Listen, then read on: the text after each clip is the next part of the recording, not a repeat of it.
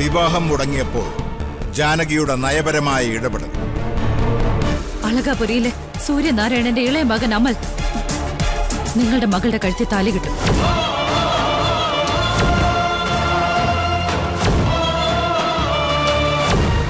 അപർണയ്ക്ക് വരനായി അമൽ.